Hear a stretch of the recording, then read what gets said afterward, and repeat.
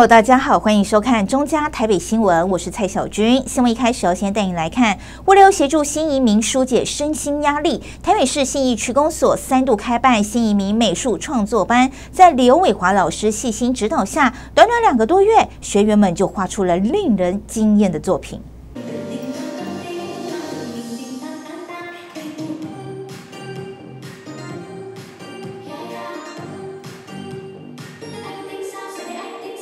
活泼可爱的越南叮当舞为这场成果展揭开序幕。这是由台北市信义区公所举办的新移民美术创作班成果展，已经迈入第三期。指导老师刘伟华表示，这一期采取比较困难的透明水彩作画，希望鼓励学员勇敢下笔，展现自我。有的学员画到第三个版本才交出作品，让他很感动。同学在第一堂课觉得很很辛苦、很痛苦的状况下，然后到第二堂课的那个修正，然后水用很多，慢慢慢慢的大家也都上手了，而且画出来的效果也都很不错。然后还有就是有些同学并不满足于课堂上画的那个效果，回家自己买纸，把颜料带回家重新再画。有些同学甚至画了三版才交出一张满意的作品。这是让我很感动的地方，真的很认真，非常的认真。展出的作品分为两大主题，其中学员们彩绘的永春皮灯饰，重现今年元宵节新一区主题灯区的美景，让新一区公所区长陈冠霖大为惊艳。刚开始看到这些画的时候，有一点惊讶，因为我还以为是我们上一档留下来的这个摄影比赛得到的作品、得奖的作品继续在展，但是仔细一看才发现说，哇，这个全部都是画出来的，而且。再更仔细看，会发现他们比起我们原来的摄影作品，其实多了更多这种艺术跟感情放在里面哈，所以我觉得是非常值得大家来这边细细的品味的。另一项主题则是各国花卉，来自香港的冯子薇就以香港市花洋紫荆花作为主题，象征家人永远在一起。平常很少时间画画的她说，这次真的画得很爽。认识很多新朋友啊，在课程上面是很可以很放松的去自己去发挥，自己去画，然后这一期真的画的很爽，因为平常都是很真的没有没有空去画画什么的，但是参加这个，我觉得就是每一期我也有把画带回家去画，那很享受。冯秀芝则是选择画江西省的省花，同时也是台北市花的杜鹃。连续三期参加美术班的他，以前完全没有绘画基础，一路跟着刘老师学习。最开心的是看到自己逐渐进步的成就感。最开心的地方就是完全可以静下心来，啊，然后呢，当你不管怎么样，呃，尽管自己也不是很满意，但是还是看到了那个进步的那个，也蛮有成就感了，看到了进步的那一面。以百花之王牡丹作为主题，第一次学画就选择最难画的花朵。来自湖南的叶鹏感谢刘老师的协助，让他能顺利完成这幅作品。这幅画画了好多好多时间，当然刘老师也帮了我很多，教我很多，他真的很会教。画这幅画好疗愈，好开心哦。除了展出绘画作品，学员们还以走秀方式秀出结合设计图样的创意手提布袋。台北市信义区公所方面邀请大家到信义行政中心一楼文化艺廊欣赏新移民姐妹的创作才艺，从新移民的角度感受世界之美。记者张启腾台北报道。芒果产季到来，台南市副市长叶泽山和农粮署联手推广台南芒果甜品和手摇饮，也欢迎民众到台南来游玩，品尝当季的鲜芒果。台南芒果强强联手，清凉冰沙搭配芒果泥，还有抹茶混搭芒果，别有一番日系台味体验。这是台南市政府和农粮署用职人精神共同行销台南芒果。特地北上来推广，带来产地芒果甜品和手摇饮，介绍特色商品给大家。装有我们台南芒果的这个芒果汁，先把它拿起来，然后我们开始进行滚杯。好，这个呢，让这个杯子沾满满满的啊爱文芒果的这个黄橙橙的感觉，感觉夏天到了。那第二个步骤，我们拿起这个打好的牛奶冰沙。那跟我们刚刚已经滚好杯的这个芒果果汁。对，我们 shake 在一起，我们直接大力的把这个牛奶冰沙倒进这个芒果汁里面，豪迈的倒进去。好，像我们芒果切丁的感觉，芒果切片，一层一层的堆叠，就形成了我们这一次的摩西摩西他们在夏季所推出的限量饮品。台南芒果产量居全国第一，甜度高且香气浓郁，在国内外都非常受欢迎。台南市府也推广台南国际芒果节，有官方账号推出吃喝玩乐的丰富资讯，还可以直接连接到芒果下单区，方便民众选购产地直出鲜果。那台南是芒果的故乡，有台湾最大的芒果的一个呃产地，那也生产了全世界最优质的芒果。所以今天代表黄市长特别到农委会这边来开记者会，一来感谢，二来是跟爱好芒果的这些粉丝朋友们宣告，台南的芒果季正式开始了哦。那我想今年的呃这些国际芒果节系列的活动内容非常非常的丰富。刚刚我们的司仪也特别介绍了，我们今天带了几位达人，有摩西摩西茶饮的达人，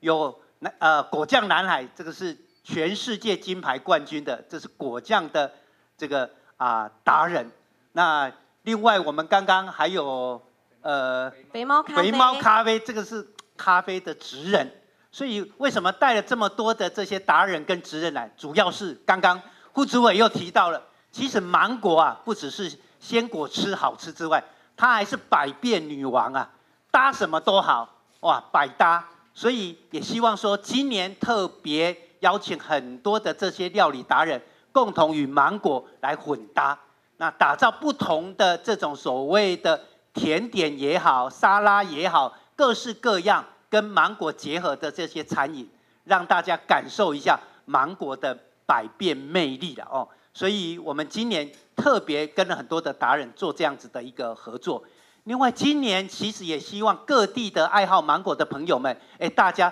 都能够尝到最新鲜、产地直接配送的这些鲜果，所以我们也搭配了所谓的快闪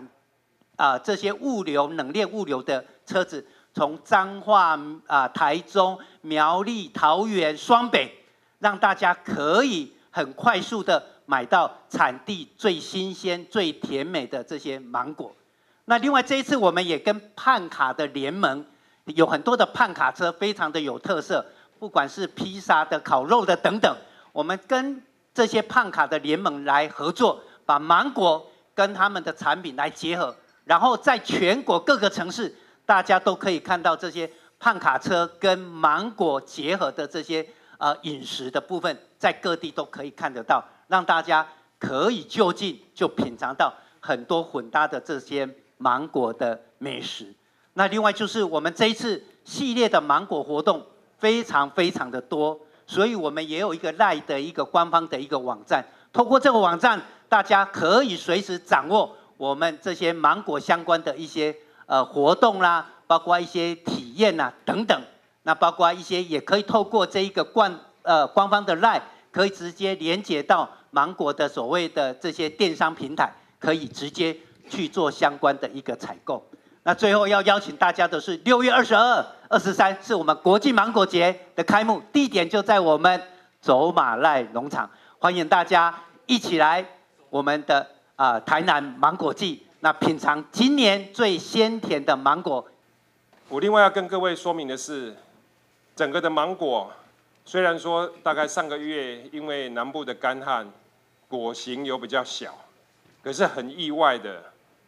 上个月在各大的超市，这种四盒装的小比较小粒的这些芒果，反而是好像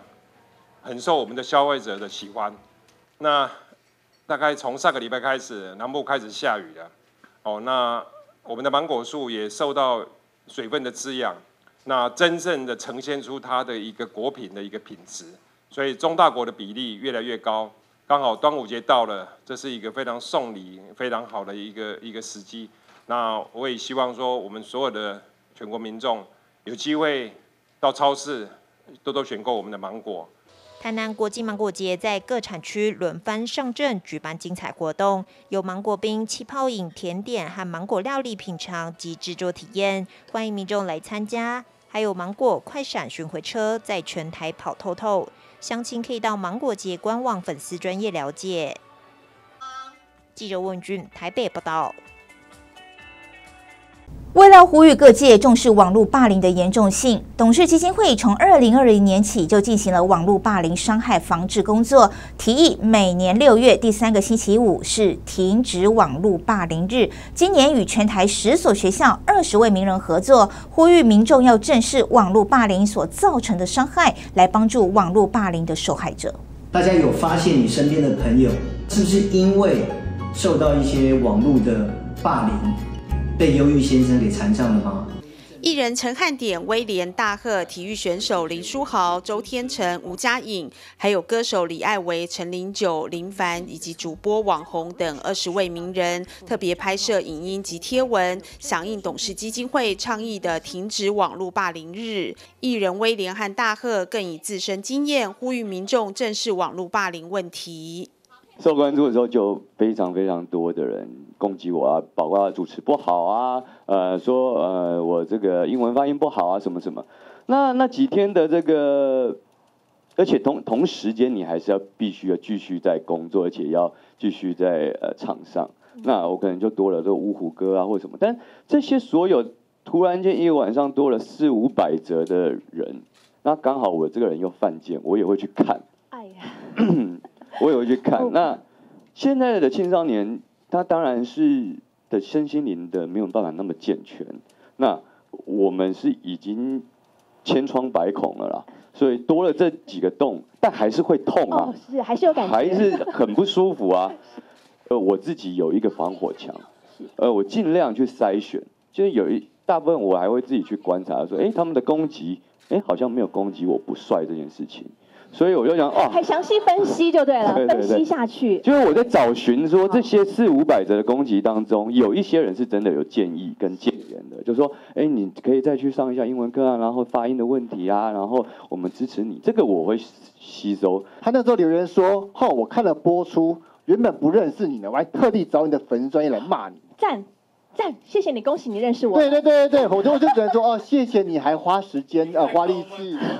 对，来找到我的粉丝专业，谢谢你哦，因为我觉得伸手不打笑脸人呐。哦，所以你是高一 Q 回应的。我只能这样做啊，那这个时候伤痕但是留在深夜里面，自己在那边这样子。OK，绷贴一下。OK，绷贴一下。所以我要让这些人知道说，其实你即使呃一句不经意的留言，但其实对于。呃，伤害是很大，因为我之后都不太敢上那个节目，然后发了我几次通告，我只能说不好意思这样。哦，那其实像我知道男生之间很喜欢开玩笑，有的时候你怎么去分辨他是开玩笑还是真的在恶意重伤呢？你会怎么分辨？你的方法？其实这很主观呢。哦，真的？就是你觉得是开玩笑，那就是开玩笑；但是你觉得这个东西是恶意的，我觉得恶意那就是恶意啊。所以这个时候你伤害就造成，所以我觉得每次大家要讲一句话的时候，我觉得要停看停哎。这不是我上传的哎，赶快确认一下账号。我看一下，我看一下。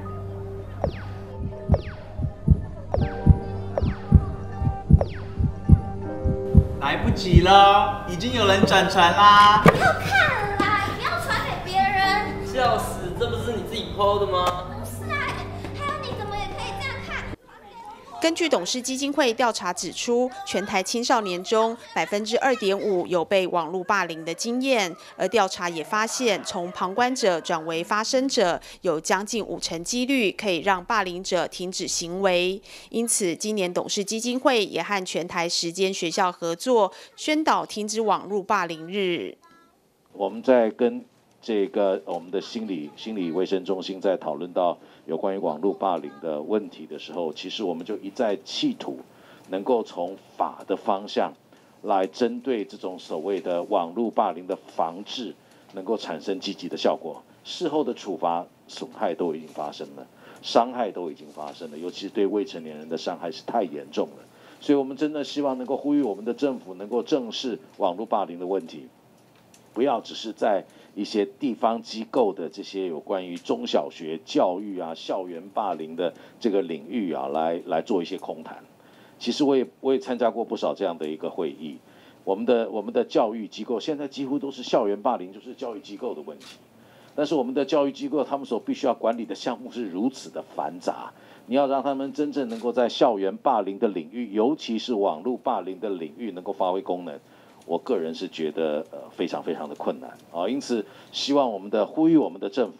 呼吁我们的社会大众，要重视这个网络霸凌针对青少年可能产生的影响，我们大家必须要能够拿出对策了。学生使用三 C 产品时间的增加，那学校更有责任要教会同学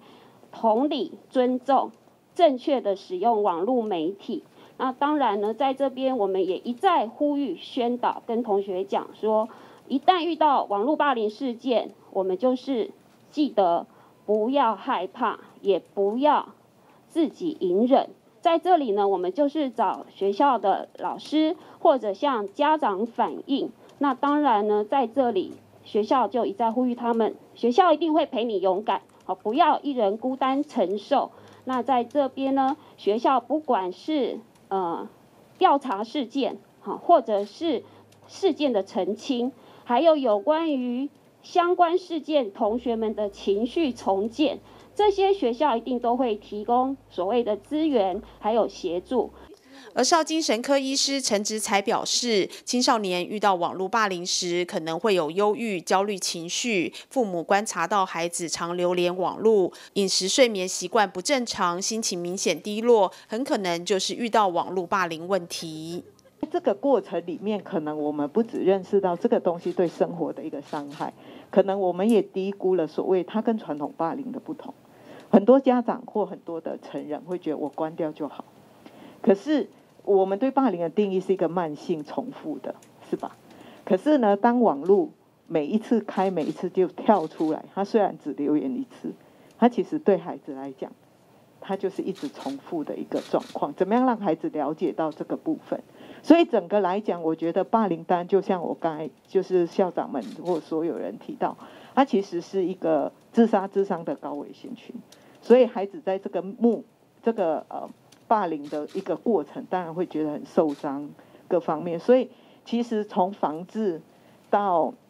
了解孩子为什么会受伤，好，就是主观的感受跟客观的事实，有些时候是因为我们不了解孩子花多少时间，他的世界是不是只剩网络世界？哦，那可能这是跟大人很不一样的一个看法。还有他们的生活作息在这样子的一个过程里面，呃，影响了什么？其实我觉得孩子是会丢出说，一个是他的作息会受影响，做睡眠啦、心情啦、吃东西，就是生理上面会受影响。另外一个是当孩子丢出讯号，比如说我告诉你，通常我们会觉得不是那么严重，就你关掉就好。我觉得这是一个太轻忽的点，所以我们才会觉得应该要有更多的认识。那第三个是让他们学会，嗯，去。呃，有困难，我觉得不一定到真正很严重有问题，我觉得他们就可以去寻求所有可信任大人的一个协助。董事基金会希望借由倡议停止网络霸凌日，提升青少年心理韧性及网络霸凌防治观念，也呼吁政府应更完善网络霸凌防治相关法律，保障社会大众使用网络安全，以及对霸凌行为有所贺阻。记者林奇慧台北报道。近日性骚扰事件连环爆，台北市松山区公所为响应人口政策愿景，倡导性别平等观念，特别前进中仑高中开设认识数位性别暴力的课程，透过轻松有趣的怪兽解体公司桌游，带领中仑高中的高一学生更加认识社群媒体可能带来的数位暴力。松山区公所举办认识数位性别暴力课程，邀请深度研究数位性别暴力的边边女力协会秘书长谢丽君，透过轻松有趣的怪兽解体公司桌游，让学生了解性别歧视等各种状况，杜绝校园数位性别暴力的发生，同时借由更与时俱进的方式进行性别意识培力，启发学生对于多元性别文化的认知。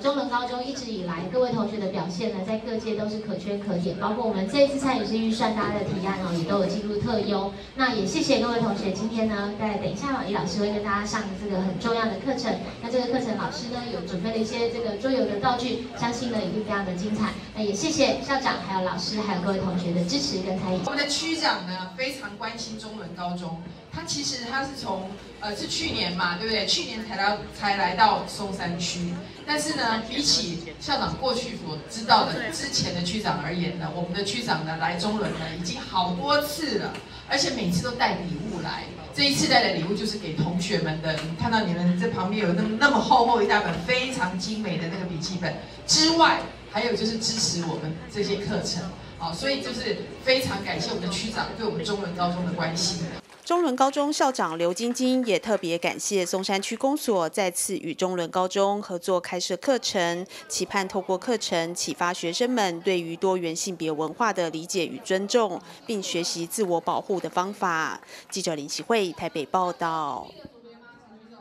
为了维护民众食用生鲜蔬果的安全，台北市卫生局公布生鲜蔬果检验残留农药的结果。一二年四月发现了不合格率为百分之二十四点四，哎，包括了常见的白萝卜、小白菜、韭菜，其中这个迷迭香更被检验出六项农业残留。婆婆妈妈上市场挑选生鲜蔬果，但小心吃进肚的不止营养，还有农药。台北市卫生局定期至市场、蔬果零售业者、超市、卖场、餐饮店等处抽验生鲜蔬果残留农药。抽验四十五件蔬果产品中，十一件不符规定，包括迷迭香、芥蓝菜、白萝卜、百香果、敏豆、小白菜、韭菜各一件，各检出一到六项残留农药。韭菜花、茄子各两件。件各检出一到三项残留农药，不合格率高达百分之二十四点四。那这一次的呃四十五件里面的十一件不合格，那有包括就是像迷迭香啊、芥蓝菜、白萝卜，那还有百香果等等。好，那这十一件的不合格的话，呃，它的它的抽验的地点有包括就是市场的部分，那还有包括就是餐饮业、素食店，那当然还有包括就是卖场。好，那这个部分的话，其实呃，在抽验不合格的，如果是农药残留超标，那我们就会根据这个蔬菜水果的来源，哦，譬如说可能是在中南部的一个产地，那就会移到产地去，请当地的主管机关去做进一步的查办。那如果违法的话，依照散法是可以处罚六万元以上的罚款。那这个部分在这几年，呃，我们在农药的检测的部分，呃，我们逐渐去朝向就是所谓的高风险的产品的一个抽测。那这个高风险的话，是依照食药署跟呃农委会，那还有环保署，他们在中央所开会之后，那根据他们所手上的一个资料，那去做这样一个监测。那这个监测的话，就是让我们这几年在抽验的部分能够比较精准。那当然，呃，因为比较精准的抽验，它的不合格率也会偏高哦。那这个部分的话，就是只要在台北市抽验的，我们除了就是去追查它的来源之外，那同时也会就是通知在台北市的农产公司哈，因为它是呃我们在台北一个很重要的批发市场，那它也会根据我们提供的品相下去做呃另外的一个监测。卫生局表示，贩售业者应要求卖方提供并保留完整产品交易凭证，并将产品外箱来源资讯拍照存证，以利后续追查不合格产品来源。那这边我们也提醒，就是在贩售业者的部分要注意，呃，你每项的来源的话，应该要留下呃相关的买卖的文件，啊，那有一个良好的记录，才能够去溯源去做这个追踪管理。那当然，如果在消费者的部分，你买到蔬菜水果的话，呃，回去就是多加使用清水去做流，呃，请流动清水去做清洗，那都可以减少这个农药残留的这样一个一个影响。卫生局表示，在市面上抽验产品属终端管理，唯有落实源头田间监测及产地加强辅导农民于栽种时正确施用农药，才能有效减少蔬果残留农药问题。记者林喜慧台北报道。机房及非法机上和经销商强力查缉，据查获七百七十八台非法机上盒，涉嫌侵权金额超过台币十亿元。看到一则则的新闻，这些制造、输入或销售侵权机上盒的业者都会遭到最重可处两年以下徒刑和五十万元罚金。影视产业是文化输出的软实力，可带动旅游、观光等行业发展。盗版业者行为会让正版业者收益减损，进而减少产出优质节目的能量与资源。直接受到伤害的是文创工作者及消费者。所以，请大家检查一下自己使用的机上盒是否合法。就算是合法的机上盒，内件是否下载了侵权 App？虽然台湾没有对使用侵权机上盒的民众有任何的罚则，但为了打造一个优质且强盛丰富的影音帝国，请民众一起保证市场合法秩序，支持影视产业。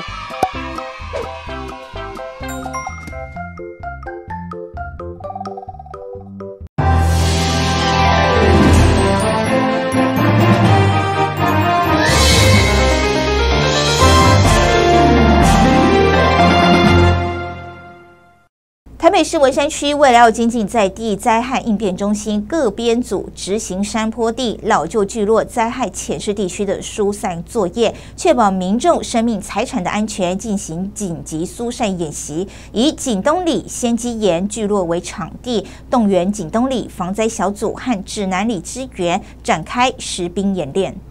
路两百三十七号前集合，立即执行，请注意自身安全。长者。行动不便民众、怀孕妇女、幼童及外籍人士等弱势族群进行疏散。山坡地及老旧聚落疏散避难要如何实施且缩短作业时程，有赖日常演习及检讨精进。台北市文山区办理防灾社区演练，以景东里先基岩下方子范宫一带的山坡地老旧聚落为演习地。假设台风雨量已达疏散标准时，如何将列管住户紧急避难安置，甚至强制疏散？那其实我们这个等于就是在温故知新，随时呃做好这个应变的一些防灾措施。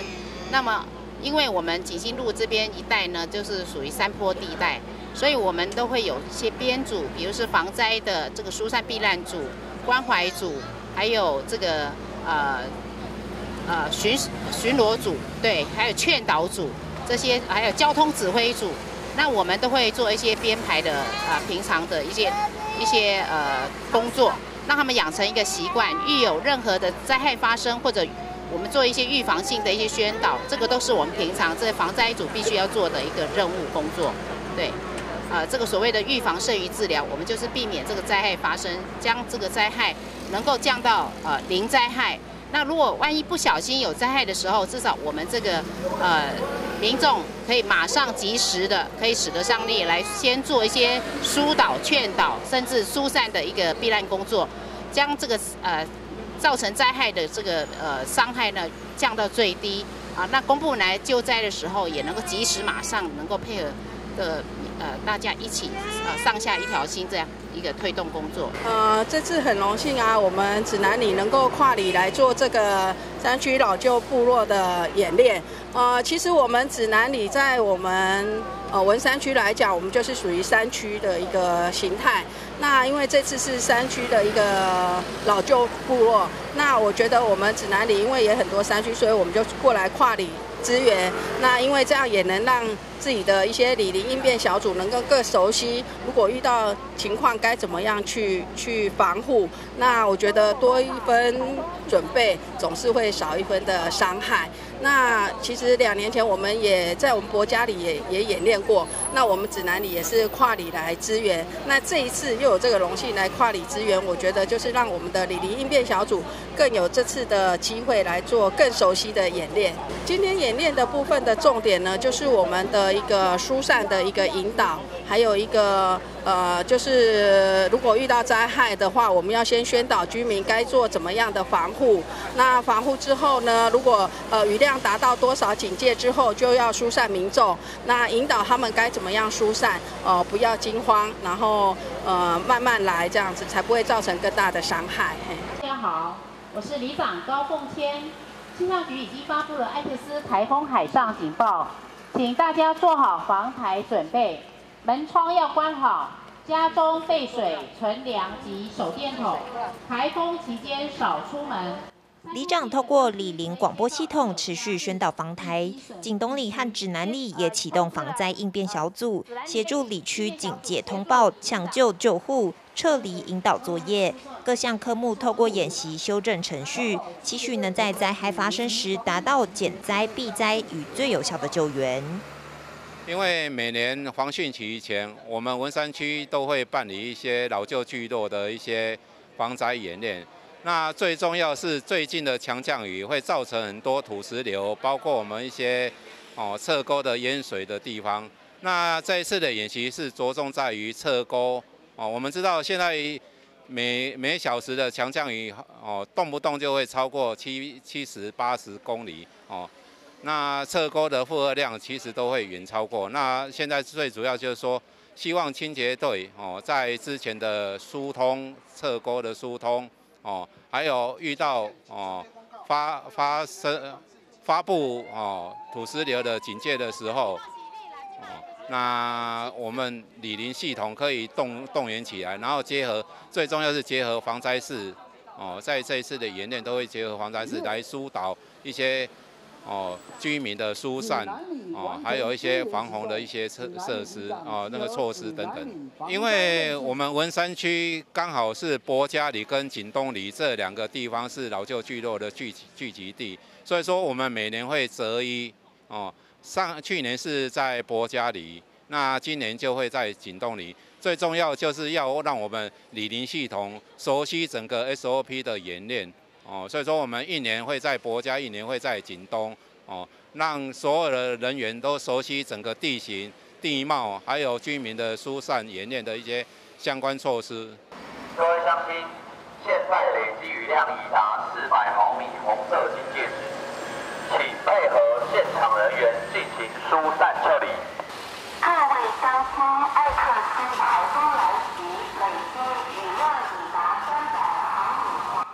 另外，消防、警政、救护与清洁单位也共同参与演习，支援车辆维持疏散作业，有效缩短撤离时程。同时，在演练完毕召开检讨会，相信未来在面临灾害时，能够达到灾前预防、灾中应变、灾后复原的效用，使灾害损失降至最低，守护居民安全。记者问俊，台北报道。大稻城早期是米谷产业的重镇，为了要重现在地的风华，具有百年历史的大稻城夜景发商后发起了首届二零二三稻城时光季活动，将在迪化街北段进行百年来首次封街，举办台日文创大街市集，结合在地的商家与市集首作者，重现山珍海味的酒家菜，有请民众来体验大稻城的文化盛典。位在迪化街北段有百年历史的大稻城夜景发商号发起首届二零二三稻城时光季，让民众穿越时空，体验在地商家与市集手作者带来的多元米谷飨宴，还有四十年前一瓮要价十万元的酒家菜，以及台菜鱿鱼螺肉蒜，从饮食文化认识大稻城的历史。南段呢是那个南北货，北段来讲是原来是菜市场。哦，从凉州街开始一直到大桥头，对不对？大那个台北桥还没重建的时候来讲的话，这一带就是菜市场。哦，所以买菜一定到这里来。哦，所以在在在这每天的食材到这里再来买菜就对了。所以在因为在北段这边呢，因为是食材还有米这一方面的一个一个一个产品都对了，所以在后期来讲的话就比较没落的对了。哦，就在在民国大概六十年以后，这个这个台北桥改建以后来讲的话，这个台北桥这个大桥头市场来讲，就就比较没落没有了。哦，所以说比较没落。那我们今天办想办这个活动，也就是希望呢，利用这个活动再告诉大家，第二铁北段呢会重新出发，商圈呢会重新兴盛起来，这是我们今天最重要的目的。好，来。谈谈以前的故事，谈谈未来的创生怎么来做，第二节商店怎么来重新再出发，就对。然后这次我们特别选在百年的古宅来举办这一次哈百年的封街哈，就是要用这样的一个活动来介绍大道城的米食文化。以及因为大稻城的米食文化而衍生出更多的商业活动。因为早期这里是一个大稻城码头，那米食集散在这里，然后也进而带进了很多的产业，包括我们的茶叶、樟脑，还有南北货，还有我们的中药材，这些不管是输出或输入，都是在大稻城。所以也就造就了很多的贸易活动。那这些贸易活动就会需要这些政商名流，就需要一些交际应酬的场合。那早期通常是用他们自己的叔厨、私厨在他们家里来做这样的一个，哎，这样的一个，呃，招待贵宾。那那时候我们称为这个叫官菜，因为通常都是一些政商名流自己的私厨。今天的菜很特别，这在三四十年前的时候，一桌。要卖台币十万块，十位贵宾。那三四十年后，我们现在去重现这些食材，当老师傅带着小师傅去买，这里的食材就超过了十八万。啊，当酒过三巡的时候，哈，解酒的一一个一个汤品，就是我们的柳皮雷霸酸的哈。当你多喝了几杯了以后，想要解酒，就要来一个热汤嘛，哈。那我们常听到的。牛皮雷霸酸，这个时候就会上台了。为期二十天的稻城时光季，共分食农工坊、食音绕梁、食好稻城以及食来运转四大主题活动，内容包含食农教育讲座、原住民丰年祭音乐演出、食农漫步大稻城、酒家菜买菜烹饪体验等，展现大稻城的多元魅力。我们常讲有两件事很容易让人家感动，第一件事哦就是美食，我相信哦各位好朋友都一样哦，儿时的那个美食记忆会让你哎深刻的一记住一辈子。然后另一个就是音乐哦，所以哎另一个就是音乐，所以我们刚刚讲到的哈，第一个用美食来吸引大家的关注，吸引大家的胃；第二个用音乐的响宴哦来让大家回味哈五六零年代的时候的那些哎音乐，所以这一次的活动。主题之中哈，也包含了音乐跟美食。是，哎，然后，那我们业家来讲话，原来在在在我小时候的对了，啊，大道城来讲话，只要五月十三哦，板豆板豆，处于台北打个龙板豆，我们家这个场地都对了，你们大家看一下来讲话，办办十桌了，啊，办可以办十桌，那是我小时候最好的记忆。五月十三，所以今年的五月十三，陈王爷生日，六月三十号，我们有一个办桌的活动。我们都知道大道城其实是台湾，尤其是台北，我觉得它是一个我们的一个经济的一个发展中心，哦，那也是一个历史文化的中心，那它也是一个可以吸引国际观光客的一个呃很好的一个地点，就是吸引力，哦，它有很很大的这这边吸引力。大道城大家都知道，呃，南中北街。哦，那北京现在大家所在的，它丢啊丢啊丢啊，丢啊丢丢丢丢大丢啊，对，所以那北街又有它自己呃，就是呃很好的文化，而且一路走过来，大家都知道，哦，在呃大家的努力底下，这条路没有拓宽，哦，所以才保持到现在的八米的一个正位。我其实很感谢叶进发号今天一百年。哦，今年一百年，然后自己就是从民间哦，自己本身就发起要把呃，就是在这个北街呃，荣华再现哦。那实际上我觉得其实已经有吸引更多人，而且我相信他一定会在随着疫情解封会更多人哦。那呃，对观光来说，我们就是好伙伴。哎，大稻城本身就是一个中心。然后让我们整个台北十二个区都发光发亮。二零二三稻城时光季于六月十号到三十号盛大登场，六月二十四、二十五日将举行迪化街北段百年来首度的风街文创市集，邀民众一同来感受稻城的时光之美。记者林奇慧台北报道。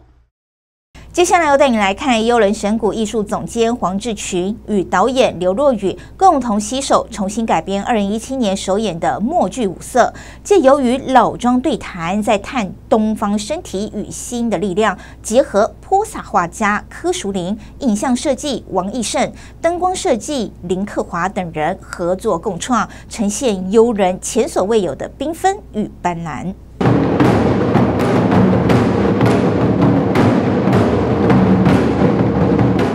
默剧五色作品的出身，源自于艺术总监黄志群对于书法家董阳孜《老庄说》气势恢宏的艺术大作，以及导演刘若宇交付恩师葛陀夫斯基《庄桌梦蝶》的叩问，结合泼彩画家柯淑玲的画作、影像设计王义胜、灯光设计林克华等共同创作，呈现出悠人前所未有的缤纷与斑斓。那墨是中国最伟大的艺术。墨没有水就没有生命，但是墨加水，墨分五色。墨其实本身就非常的精彩了，因为它墨分五色。但是彩呢，它也是非常的独树一格。那今天呢，我将墨跟彩交融在一起，产生第三个色彩。我觉得这是艺术家的生命色彩，因为这种交融啊，非常的千姿百态吧，啊，可以有各种不同的变化。那这次呢，我真的非常开心，跟这么多位杰出的艺术家能够共同的创作一件作品，在各自的领域里面呢，其实呢，我觉得我们这样子的一个创作呢，是啊，让艺术的高度更提升了。所有的部门团队都融合在一起，然后大家觉得它很棒的时候，才会觉得哦，原来多媒体做了些什么。对，所以我在这里面其实还是要很感谢左右这两位，对呀，那个淑英姐还有若雨姐。那尤其是跟若雨姐在一起工作，一直以来我觉得很舒服的一点，就是尤其是默剧五色，让我呃很难忘的一个经验，就是我觉得我们两个好像在散步，对我们好像在一个山路里面在散步。然后我就说，哎，若雨姐，你看一下这边有个东西很漂亮。她过来看了一下，她说，哎，真的，我们往这边走走看。所以整个过程里面其实一点都不紧张，然后很放松的情况下。我们挖掘了很多淑玲姐的画作里面的很多细节，然后把它放在最适合演出段落里面。那我觉得那彼此融合之后，就会得到一个我觉得我们都很惊艳的一个结果。老庄说里面啊，他有某种，他有他在讨论一些事情，那里面呢。呃，因为也相关到，就是说我们怎么走我们的人生嘛。这人生是某种，好像在虚无之间，可是这虚无之间呢，就是老子的虚无。但是呢，但这里头却有一种一种力道，一种劲。你怎么去走这样子，并不是说我们就我们就不走了。那我觉得这个事情在呃。优的诠释里面，我们用了太极，也是想到你什么时候发劲这样子。那这个熟练的这个泼彩呢，根本就是一个发劲，他就是啪一下子，就是他感受到那个状态之后，然后那个力道下去，所以那个彩墨再出来的状态，真的是非常的像他讲的千姿百态。所以这就回到了一个，就是说，好像是从这个老庄的里面，我们怎么回到了人生，它仍然千姿百态。那当然说这个事情，就像这个这个医生竟然。既然这个当其实，在现场我们看到时，我们也我们就已经很很开心、很惊艳，是因为他是他是把他的泼彩里面的那个画作的哪一个旋到哪一个角落，像他说他刚形容说散步，我觉得这个太厉害了，因为没有压力的，他就散到这边走，但是他觉得哎，我觉得这个地方的画作好像是一个力量，我说哎呀，刚好我们可以做什么。就是好像你你就在那个画里头跟着他的画在游走，然后就完成了实体的人跟影像的关系。其实每一个段落的影像跟人的前面的表都是有关联的。我觉得这样的画作起来是一种我们叫做无心的创作，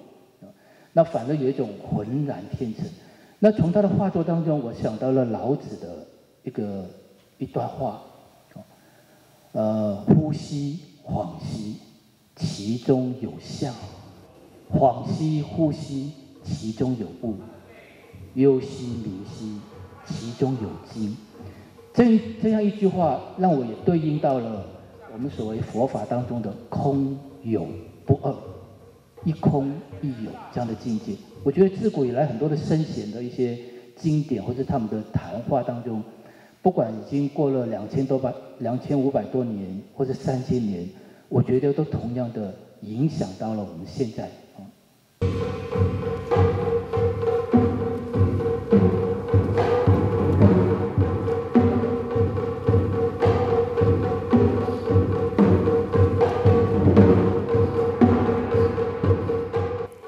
零二三年版本的默剧五色二点零，除了优人善用的鼓乐、铜锣、笛、箫等乐器之外，为了加强身体的张力，特邀新加坡国家太极代表好手郑凯欣与剧场人洪义斌共同演绎，结合悠人团员常年修习太极的身体特质，展现太极刚柔并济、武器合一的身段。这次的比较特别，就是我真的把实实体老庄说的事情的。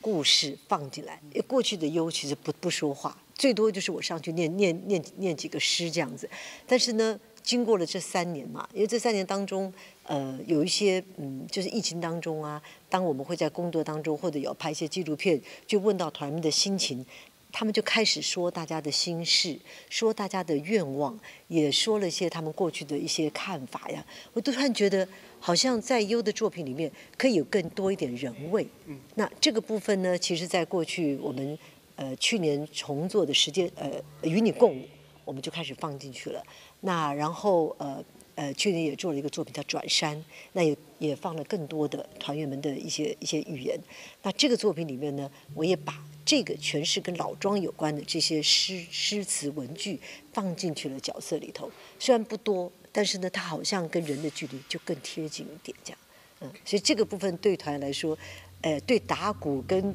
打拳打坐的团员来说，是一个很大的挑战。那我想他们一天一天在进步，这样。经典默剧五色二点零将于九月二十二号到二十四号于台北国家戏剧院，十一月二十五到二十六号于台中国家歌剧院，十二月九号到十号于高雄魏武营国家艺术文化中心展开八场的精彩演出。喜爱悠人神鼓的观众朋友可千万不能错过。记者李希慧台北报。报道：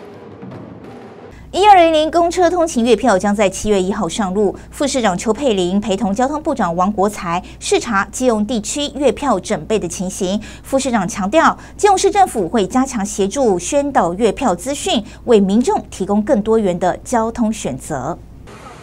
一二零零通勤月票七月上路，副市长邱佩玲。陪同交通部长王国才视察台铁状况。在这里加值，在这里加值，在这里。我们两个窗口都可以加值。好，那但是出勤我们会有一个专门加值。一定会大排长龙。不会，就这个啦，很加值很快。加值。今日到专门售票窗口及闸门通道走一趟，了解进出动线是否正常。我们在上班时间，我们会开放进站。方向，然后在下班时间会开放出。啊啊，这个什么时候装好？这这个这个在本周内应该可以装好。随后，邱佩玲陪同王国才前往国王客运基隆临时站视察月票自动储值机预购情形。副市长邱佩玲承诺会配合中央协助宣导月票资讯，提供民众多元的交通选择。你们那个。市政府这边也宣导一下，第一第一个先到这里加值啊，对，加值还有那些，我们有通过七月一号以后在台铁车站都会加值。那这段期间，这段期间我们跟宣传说，在台北、啊新北、台都可以做捷运站的一个加值哟。哎，是。我有已经呃请这个台铁哈，在七月一号哦，他之前要做一些压力测试，那之后要有专人在这个地方来。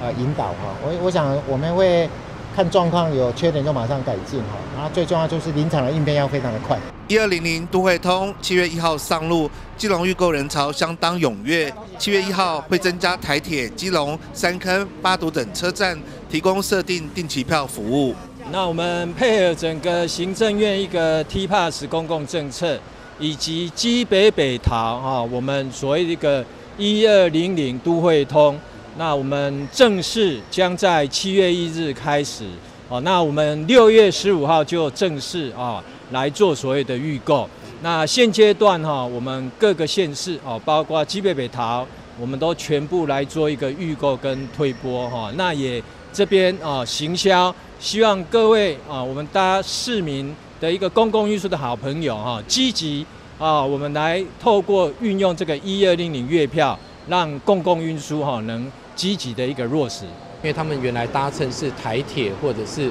这个国道客运哈，他们的这一个整个的通勤的一个费用节节省就比较多哈。那每一个人的通勤费用其实也不一定哦。那所以大概就是说三折到五折，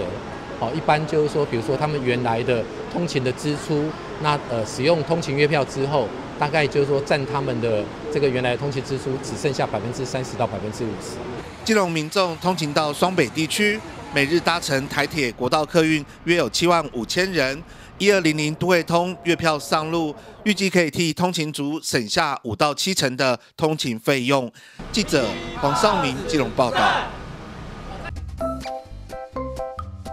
房及非法机上和经销商强力查缉，查获七百七十八台非法机上涉嫌侵权金额超过台币十亿元。看到一则则的新闻，这些制造、输入或销售侵权机上盒的业者都会遭到最重可处两年以下徒刑和五十万元罚金。影视产业是文化输出的软实力，可带动旅游、观光等行业发展。盗版业者行为会让正版业者收益减损，进而减少产出优质节目的能量与资源。直接受到伤害的是文创工作者及消费者。所以，请大家检查一下自己使用的机上盒是否合法。就算是合法的机上盒，内件是否下载了侵权 App？虽然台湾没有对使用侵权机上盒的民众有任何的罚则，但为了打造一个优质且强盛丰富的影音帝国，请民众一起保证市场合法秩序，支持影视产业。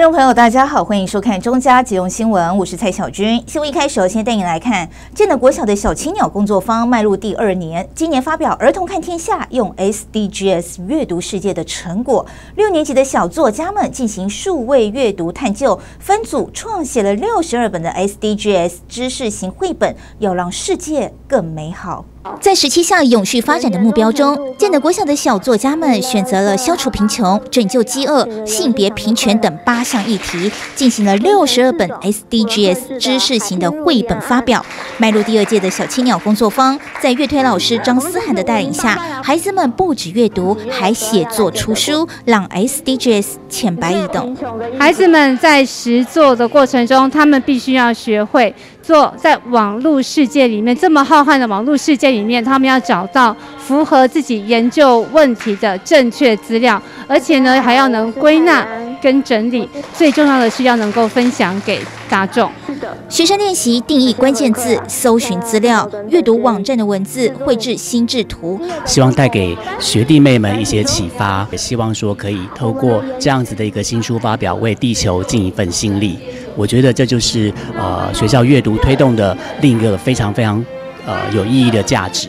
探究课程结束后，六零七班有四位同学仍然想继续研究拯救贫穷的议题。他们主动申请参与科华威线上数位阅读专题探究竞赛，并以如何帮助街友为题进行长达三个月的探究。在这个研究过程中，团队合作。非常重要，然后我们也花了非常多时间在这项报告中。知道了街友为什么会那么容易没有家庭，主动的去求知，主动的去理解事实的真相，是现在的孩子每一个人都应该要学习到的重要技术。另外，四零六班的同学感受身边的问题，活用所学知识，探究有你真好，吸收了很多知识。透过学生自主行动，让师长理解学生的痛点与难处，一起解决问题与自主学习。记者蔡小军基隆报道。鼓励孩子多阅读，中和国小六零一班的师生就策划了一场走读去的课程，邀请陪伴他们阅读的苏奶奶前进预约二手书店，一起感受书香世界的美好。孩子对二手书店有着满满的好奇，最大来自于如何营运及创业理念。我们为了要把这些书留下来，啊，不管是刚刚讲清凉的书，还是历史的书、文学的书，这些书都一定还会有人想要看。利用这个机会让小朋友知道一下，我们金融市有个二手书店，那再做些飘书的活动，让小朋友可以知道说阅读有不同的形式，而且呢，在访谈当中可以透过人生的阅历，去知道说如何从阅读当中去吸取更多的智慧和经验。所以今天，呃，我们小朋友从建书店开始，到我们的著名的雕塑，一直到我们的呃预约二手书店呢，他们应该是收获很多，也算是我们给小朋友一个毕业的礼物。中和国小六零一班师生策划这一场转换课堂风景的活动，邀请到陪伴他们阅读的苏奶奶一起到场，进行换书的温馨活动。品格哈，能够感化一个人的心灵。那你心灵感化以后，将来你到社会要找工作就比较简单。那其实苏奶奶跟我们合作呢，已经有超过她五年的时间。那苏奶奶已经九十岁高龄，但是她每个礼拜呢，几乎都会来学校各个学校去做呃一个爱阅读跟品德教育的活动。我们在苏奶奶身上学多学到了很多人生的道理，比如说诚信。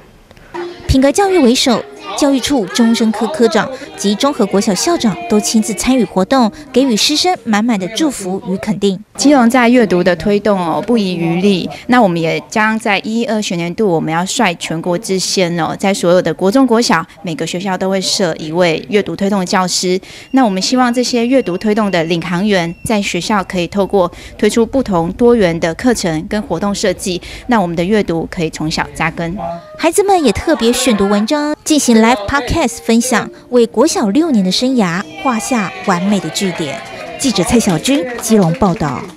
以上就是今天的中嘉新闻，也欢迎您到中嘉新闻的脸书及 YouTube 按赞，就能及时获得最新的在地新闻。非常感谢您的收看，我是蔡小军，祝您一切平安，我们再会。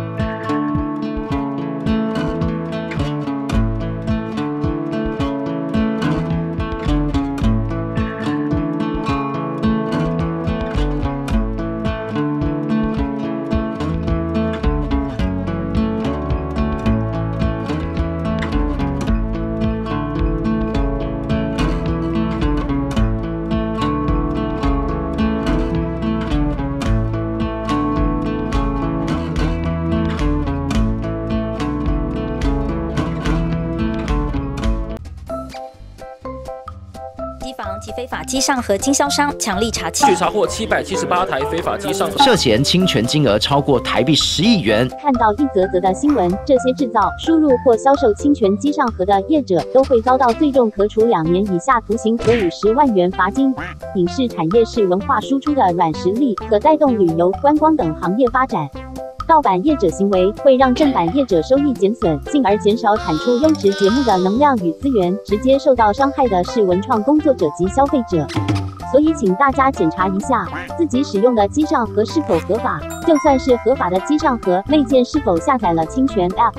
虽然台湾没有对使用侵权机上盒的民众有任何的罚则，但为了打造一个优质且强盛丰富的影音帝国，请民众一起保证市场合法秩序，支持影视产业。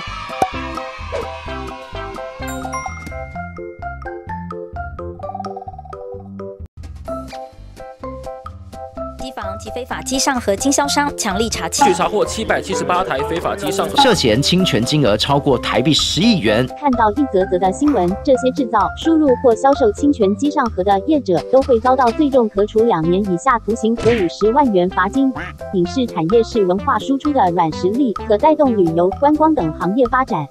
盗版业者行为会让正版业者收益减损，进而减少产出优质节目的能量与资源。直接受到伤害的是文创工作者及消费者。